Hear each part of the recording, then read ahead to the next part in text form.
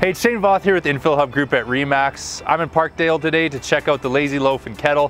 When I said I was doing a video here, everyone said you gotta check this place out. I'm really excited. Let's go.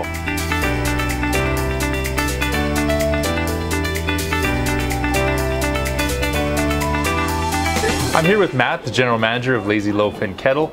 What is it that makes you guys unique?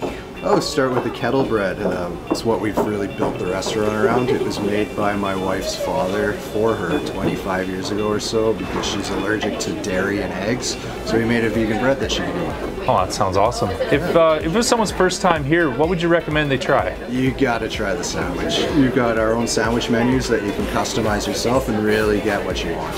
Okay, I'm excited to try that one out.